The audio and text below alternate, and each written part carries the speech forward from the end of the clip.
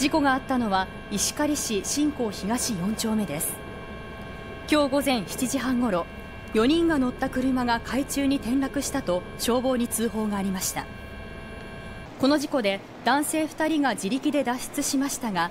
10代と20代の男性2人が車内に取り残されおよそ1時間後海中から救助されましたが間もなく死亡が確認されました。